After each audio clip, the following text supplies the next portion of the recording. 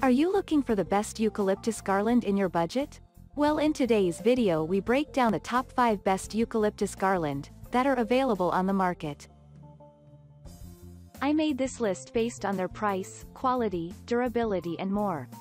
To find out more information about this product, you can check out the description below and also make sure you subscribe for more reviews. Okay so let's get started with the video.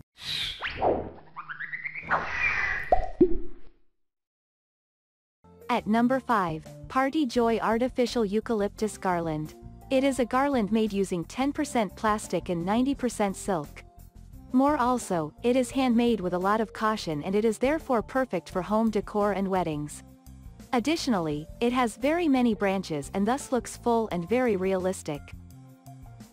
At number 4, DearHouse Faux Eucalyptus Garland Plant. It is coming i2 packs with each containing 134 PCs of large fake eucalyptus leaves. In total, it is containing 268 PCs eucalyptus leaves. Therefore, it is very perfect for use in all kind of weddings and also a perfect home decor.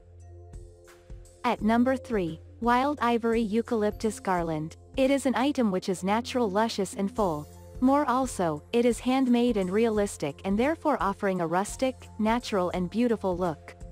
It is the best product as it is providing tons of volume and texture.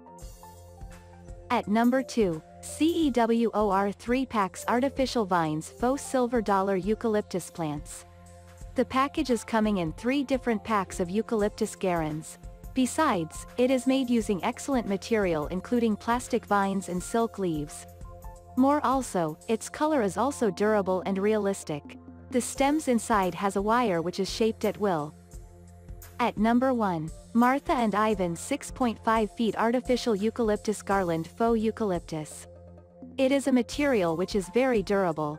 More also, it is made from fabric which is resembling fabric and also looks similar to real fresh preserved eucalyptus that is damaged with ease, light-weighted, no fading and wilting. Thank you for watching guys, I hope you like this video. If this video was helpful to you, please make sure a like, comment, and don't forget to subscribe.